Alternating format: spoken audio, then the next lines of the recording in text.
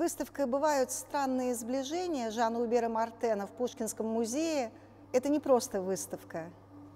Это пересмотр музейной политики как таковой. Это вопрос, зачем мы приходим в музей и что мы здесь сможем увидеть.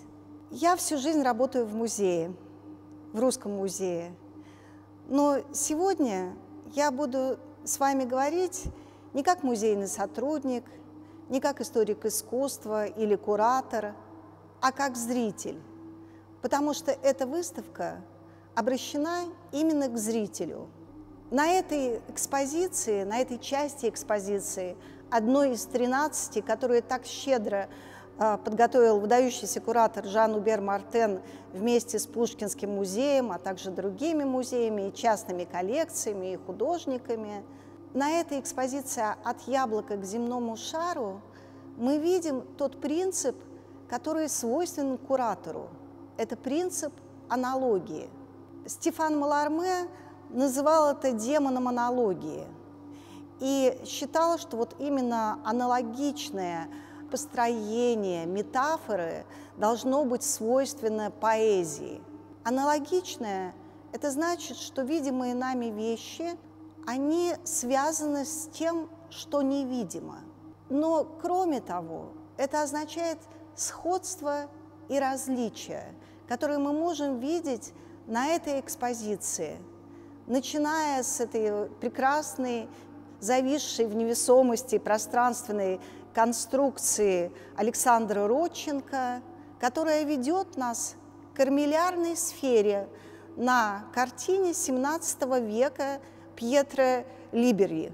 И вдруг мы понимаем, что и армиллярная сфера, небесная сфера, и конструкция Родченко – это именно умозрение. Это та конструкция, которая была выстроена человеком силой своего разума, и та конструкция, которая стала видимой, которая была нам подарена. Конечно же, сферы небесные, которые сначала появились, а потом и глобусы, так называемое земное яблоко, самое раннее из сохранившихся, мы знаем, XVI э, века земное яблоко, которое сейчас в Нюрнберге хранится. Безусловно, они давали представление человеку о том, что он не может увидеть. Но разве он мог увидеть музу Уранию? Разве он мог представить себя включенным в то пространство, которого не существует. Что это за странные такие светящиеся сферы, которые летят над таким пастишем, над ренессансным ландшафтом? Это очень э, сложная история. Художник работает с учеными, астрономами, изучает э, колебания солнечных э, энергий.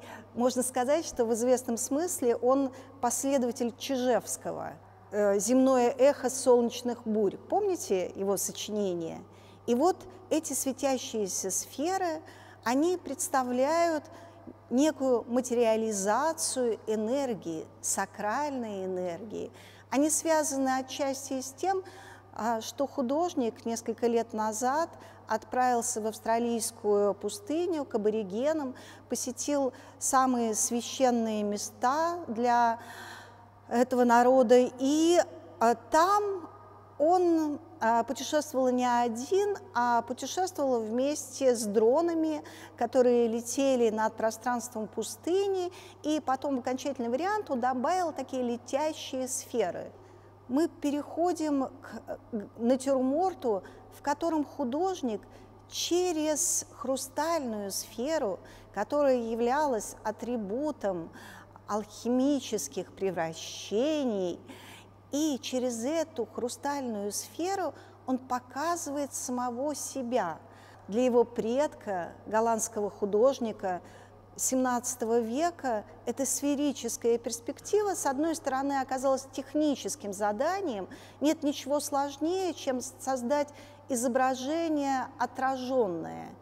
И в то же время концептуальным. В этой хрустальной сфере сосредоточено все.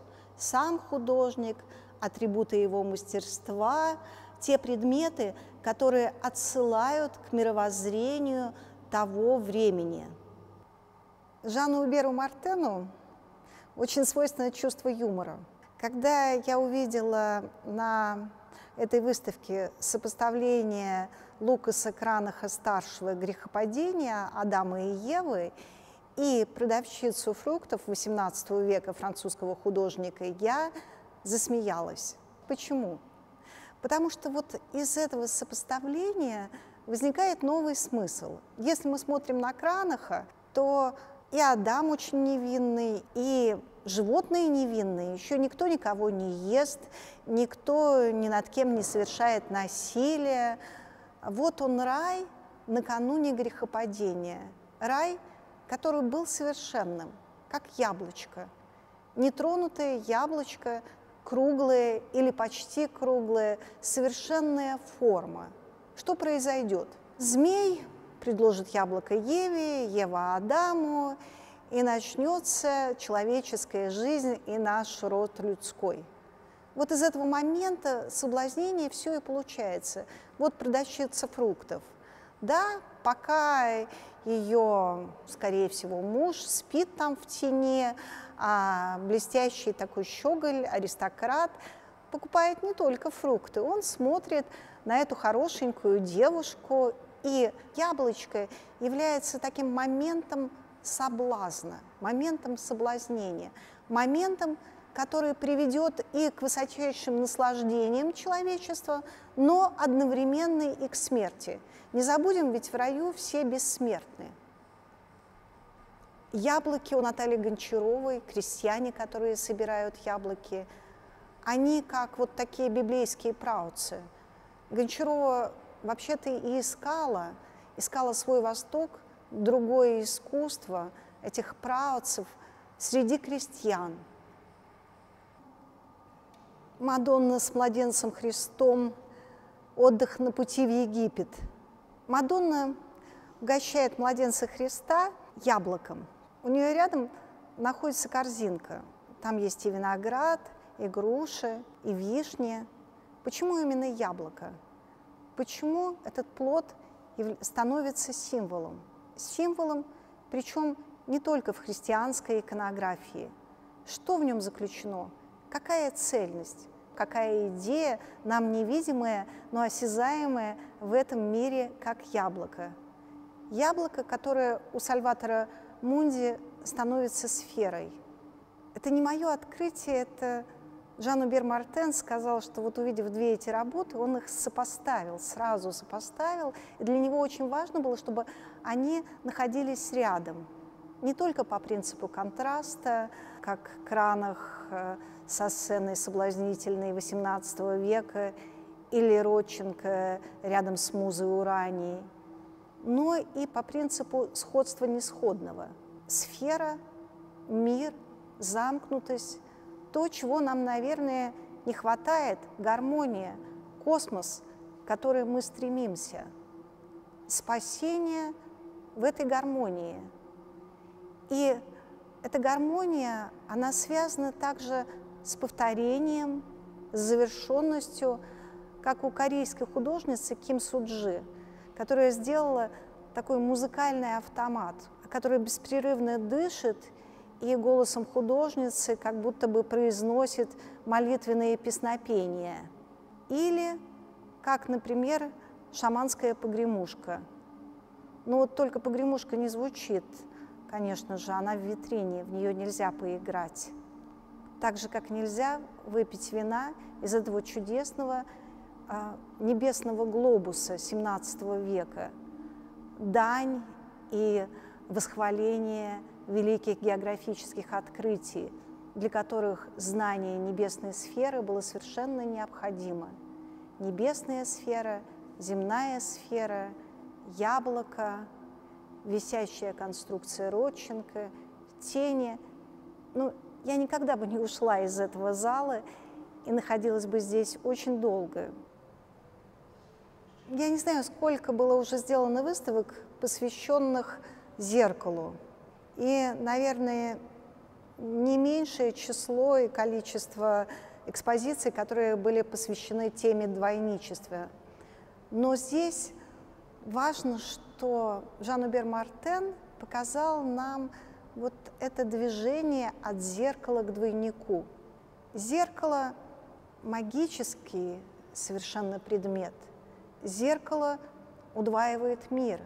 Зеркало заставляет нас заглядеться на этот мир или на самого себя. Сегодня это особенно важно, потому что мы живем в эпоху зеркал, потому что все делают селфи, все их э, постят в социальных медиа, и все ждут, как другие люди отреагируют на эти зеркальные изображения. То есть мы должны утверждать свой образ перед другими. А что же было раньше? По-видимому, человек должен был утверждать свое достоинство, свой образ, а свою красоту перед самим собой. Ну, в то же время и другие могли подглядывать. Что это? Что нам дает зеркало? Вот я сейчас говорю на фоне двух ванитас, ну, почти современных. Первая половина XVII века, Бернардо Строци, аллегория бренности, старая кокетка, и Якопы Лигоци, другая ванитас. На одной мы видим даму, которая прихорашивается и смотрит в зеркало. За ее спиной смеется служанка, а в зеркале что-то другое. Образ, который загляделся на самого себя. И уже не важно, что это бренность человеческая, а важно то, что ты оставляешь миру, что ты оставляешь в этом зеркале. А вот другая работа Легоци Ванитес, череп такой натуралистический, можно сказать, истекающий останками плоти, такой сочный череп, да, если можно так сказать. А что же мы видим в зеркале?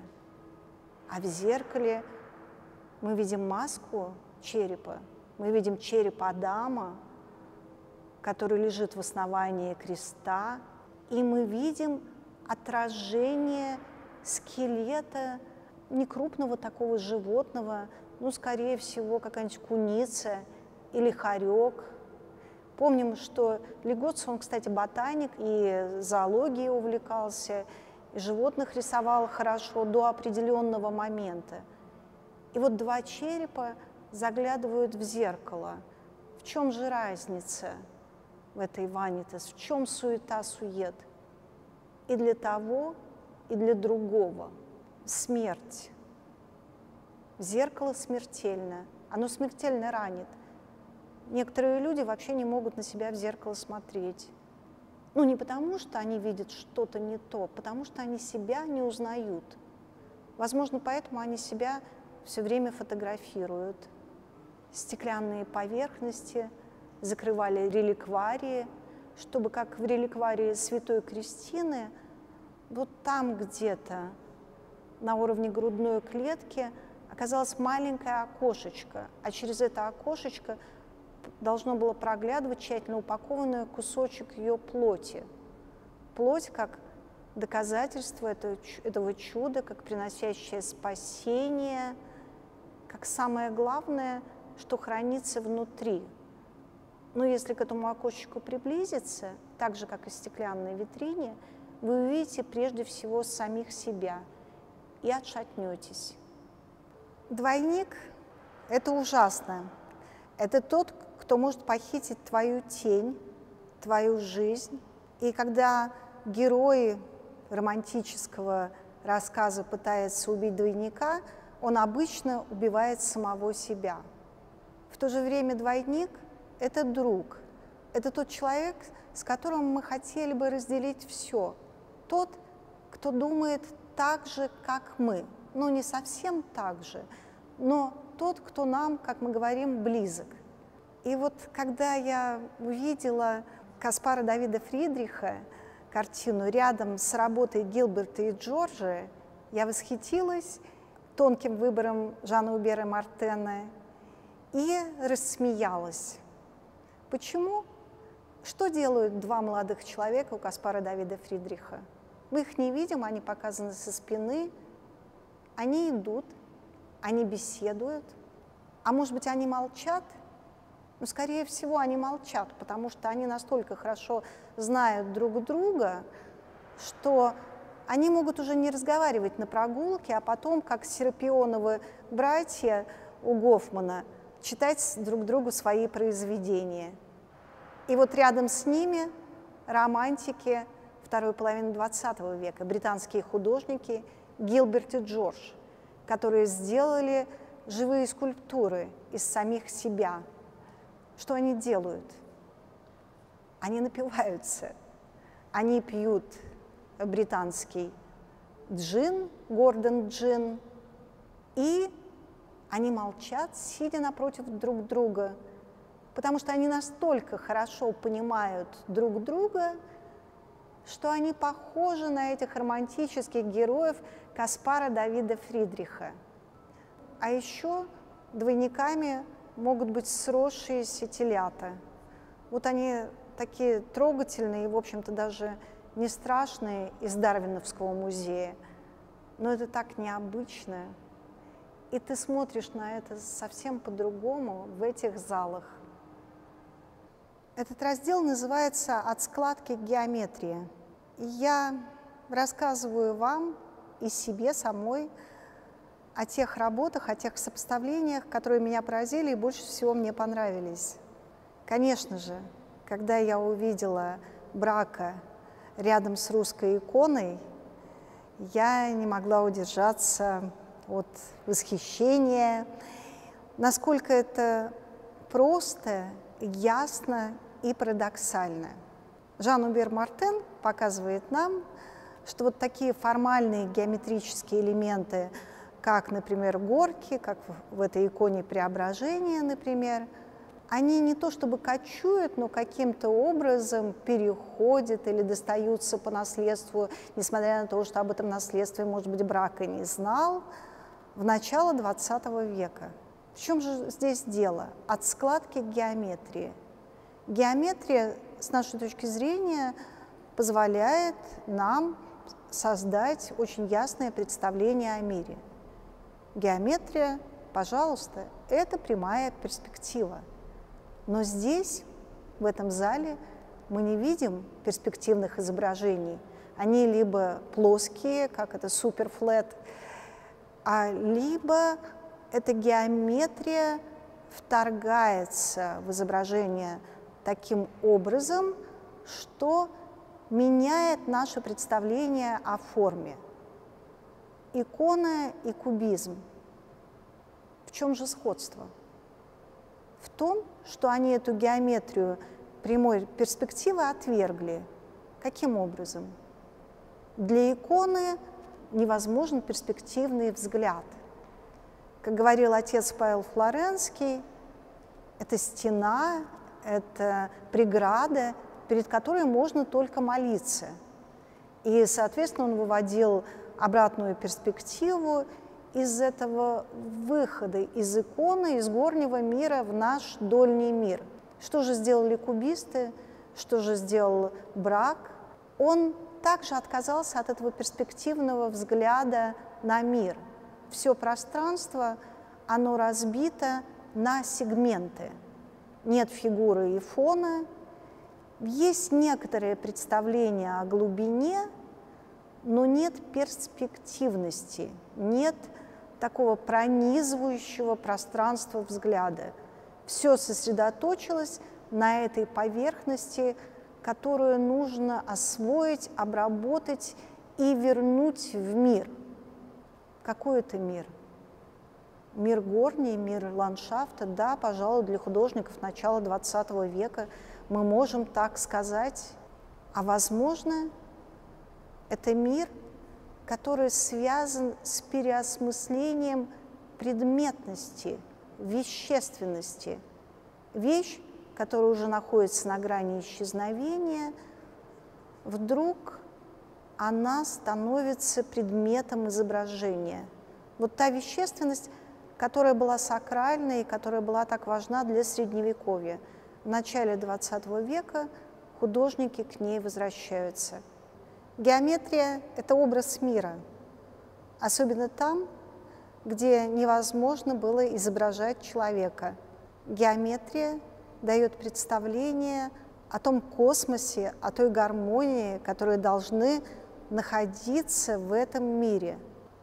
Вот сирийское панно декоративное, оно не только прекрасно, совершенно, но оно представляет нам образ мира.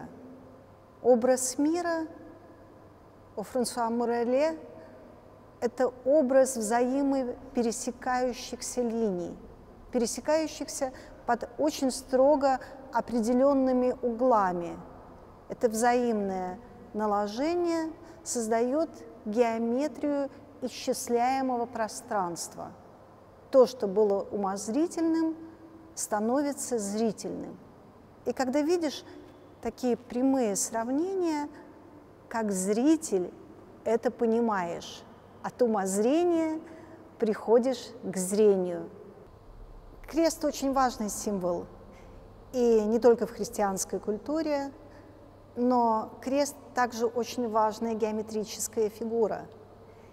И мы видим, что в начале XX века, например, художник Родченко, он таким образом располагает свою геометрию на холсте, что абсолютно точно распознается крест.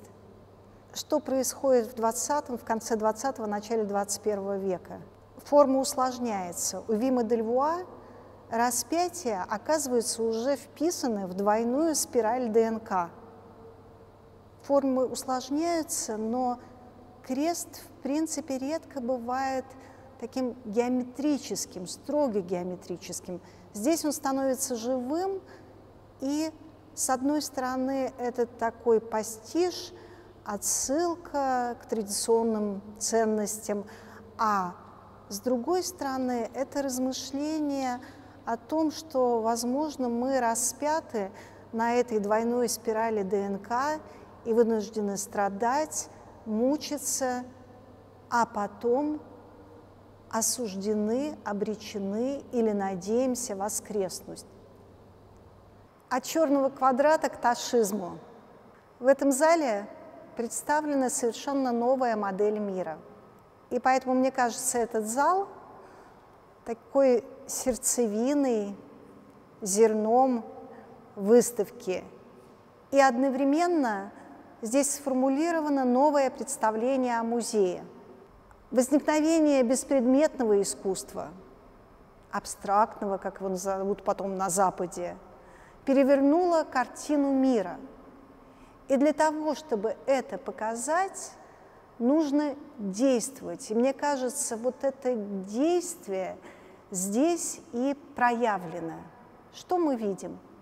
Мы видим черный квадрат Николая Суетина, ученика Малевича, и мы видим таблицы Лафона, Леобольда Лафона, которые демонстрируют нам эффекты радиации.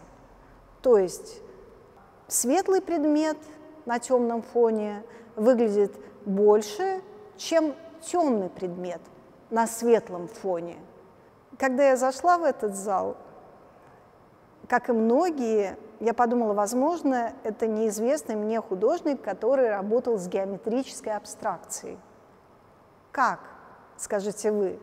Но тогда можно сказать, что Малевич в своем супрематизме и его ученики, а затем и художники, которые работали с абстракцией а, на Западе, а, они обратились к э, техническим таблицам, к техническому рисованию.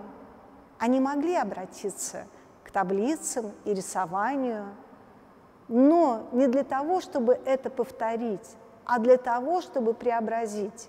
Потому что наука и эти же таблицы, и визуальные, и зрительные эффекты, они стали частью мира искусства – Почему искусство? Живо оно все время наполняется тем новым, что мы узнаем, знаниями о Вселенной или о том, как выглядят одинаковые фигуры, если они по-разному окрашены. Еще в этом зале невероятная, конечно, чувство юмора. Вот за моей спиной находится витрина, и вы к ней обязательно подойдите, и там вы увидите э, воспроизведение монохромных работ, э, и черный, и красный, и желтый. В этой же витрине э, лежит карикатура, смешная очень, Ива Кляйна на Малевича. Он значит, создает свое произведение, а супрематические композиции улетают от него – а тут же внизу такая норка, и туда мышкой подписано Кандинский, убегает. То есть Малевич, как, так сказать, э, праотец монохрома воскрешенного Ивом Кляйном, тем не менее, Ив Кляйн позволяет себе над этой фигурой смеяться, и смех означает как бы отстранение. Это почитание и одновременно отстранение от, так сказать, сакрального предмета искусства, каким является для нас творчество Малевича, творчество художников начала XX века. Здесь же, в этом же зале, находится фильм одного из пионеров анимации Эмиля Коля, как коллекционер приходит к художнику, тот ему предлагает монохромы, и название вполне сюжетное. И с посредством анимации на этих монохромах дорисовывается сюжет. Конечно же, новые течения в искусстве э, всегда были предметом карикатур. Мы знаем, что были карикатуры на кубистов, когда показывали там папа, мама э, с такими э, кубическими головами, и ребеночек тоже с кубической головой, например. Но здесь еще важна реакция, которая делает это видимым. Это любимейший мною зал. Хотелось сказать, как известно или очевидно, но очевидно, наверное, здесь более подходит. Нашим очам видно, что русская икона оказала влияние на русский авангард, в частности, на Казимира Малевича, на его супрематические композиции – об этом давно говорят исследователи, об этом говорил мой учитель Евгений Федорович Ковтун, один из первых советских исследователей русского авангарда. И действительно, крест, квадрат, мы можем их найти на одеждах святителей. Черное, белое, красное, монохромный цвет, плоскостность, Русская икона была заново открыта, раскрыта от позднейших наслоений и показана в начале века на выставках. И художники могли увидеть сияющий красный цвет, могли увидеть эту чистую геометрию. Но здесь все гораздо тоньше. Здесь одежды святителей улетают в работы Александра Сигутина – из серии «Византийский супрематизм». То есть он помнит и об иконах, и о супрематизме, и об одеяниях, и о плоскостности, и эту плоскость захватывает. Опять же, как известно или очевидно, у Малевича не было идеальных, он никогда не делал идеальных геометрических фигур, никогда не располагал их идеально в центре. Круг улетает, крест улетает, квадрат мы тоже знаем, что это несовершенный, так сказать, квадрат. Дело не в геометрии, а в подвижности, в том, что эти фигуры живы, насыщены какой-то другой жизнью, когда действительно горние, мир горний и дольний – встретились, встретились на этом холсте, кроме которого ничего нет. Выход за ноль. Все и одновременно ноль. Ноль пространства и бесконечность. Как, как предшествие представления о бесконечном космическом пространстве и одновременно сведение все к самому холсту, монохрому. Александр Родченко – 2021 году делает чистый красный, чистый желтый, чистый синий цвет. Все. Он покончил живописью. От живописи остался монохромный, гладкий цвет, основной цвет. Но это лишь одна из линий от черного квадрата к ташизму. И Жан Убер Мартен начинает с Виктора Гюго. Виктор Гюго любил рисовать тушью оборотом своего пера. И получались такие странные, как пятна Роршиха или каляки-маляки. А здесь на выставке представлен такой солидный фрагмент деревянного стола, а может быть паркета, на который возможно, что-то пролил.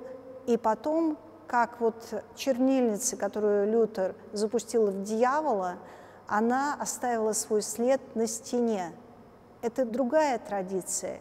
Это традиция экспрессионистическая.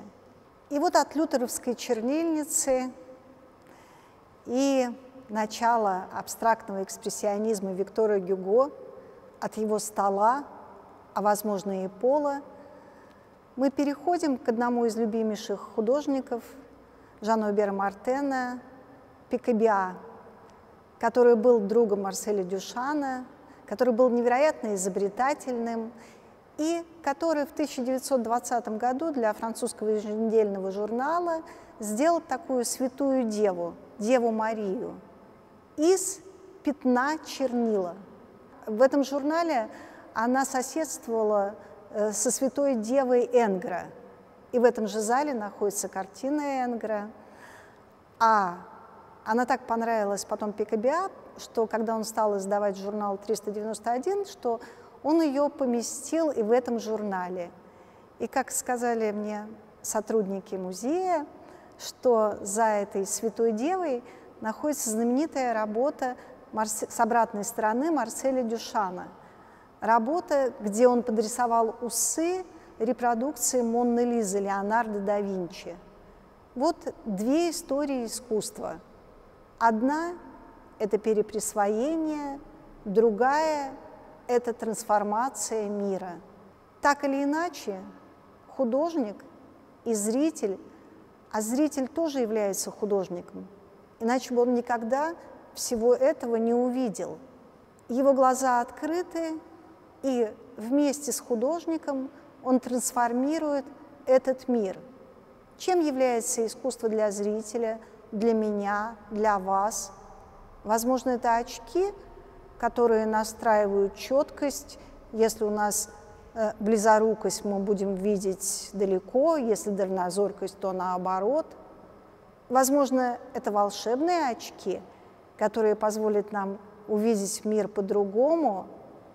А может быть, это 3D-реальности очки, которые позволят нам ощутить наше тело в трехмерном пространстве. Не случайно же мы не только прямоходящие, но имеем эти два глаза, которые являются нашими протезами, позволяющими нам увидеть мир. И не только мир, который осязаем, но и мир, который мы в принципе не можем увидеть, а только представить. А художники и зрители, как художники, могут его вообразить, то есть создать образ. Я бы остановилась на предыдущем зале, но не могу удержаться здесь. Также находятся мои любимейшие работы, и те сравнения, которые мне открывают что-то новое. Ведь это же считается моей точкой зрения, точкой зрения зрителя, глазами создающего свой мир, благодаря музею, куратору и художнику. Этот раздел называется «От фигурных скал к абстрактной скульптуре». Здесь очень много работ, но я хотела бы обратить свое и ваше внимание на две аналогии. Помните демона аналогии Маларме? Подобие существующего в мире. Здесь таким демоном аналогии для меня стало сравнение картины Клода Мане и Ильи Кабакова. когда вы смотрите на них вместе, вы понимаете, каким открытием для Кабакова был в свое время, когда он заканчивал учиться, импрессионизм. Он учился у Роберта Фалька, и Фальк после смерти Сталина своим любимым ученикам, Илье Кабакову, Эрику Булатову, он открыл свою мастерскую, показал свои работы, которые все это время скрывал и никому не показывал. И вот это влияние чистого, несмешанного цвета, его светоносность вы можете увидеть во многих работах Кабакова, живописных, в которых он отсылает нас назад, чтобы оказаться впереди. И если Мане упивается, так сказать, природным феноменом и показывает нам вот это пространство, которое возникло естественным образом, и которое так полюбили художники, и он тоже не мог удержаться, чтобы его не запечатлеть, но это пространство, оно пронизано вот этой светоносностью, создаваемой дополнительными цветами, то у Кабакова это пришло уже после Мане, и поэтому это размышление об открытиях импрессионистов – об открытии новой колористической сияющей гаммы и нового способа представлять мир. Два наблюдателя, которые находятся спиной к наблюдаемому ими явлению, так же, как у Каспара Давида Фридриха, оказываются перед природным феноменом. Феномен – зависшего светоносного пространства. Для Кабакова светоносное пространство белое очень важно. И он говорил о том, что на него повлиял Малевич со своим белым. Белое, светоносное, пронизывающее. Это другое, это иное, это странное. Бывают странные сближения. Если верить в судьбу, и в параллельность того, что происходит, эти сближения происходят между произведениями искусства. Но более того, они происходят между зрителем и тем, что его окружает. Мы сегодня оказались в этой ситуации странного сближения. Ну, и вы, надеюсь, тоже. thank you